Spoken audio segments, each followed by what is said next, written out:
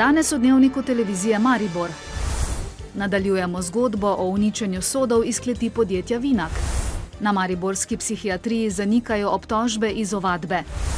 Brez posluha za pobude o novi lokaciji umetnostne galerije. Novice Štajerske pomorja in Koroške ob 18.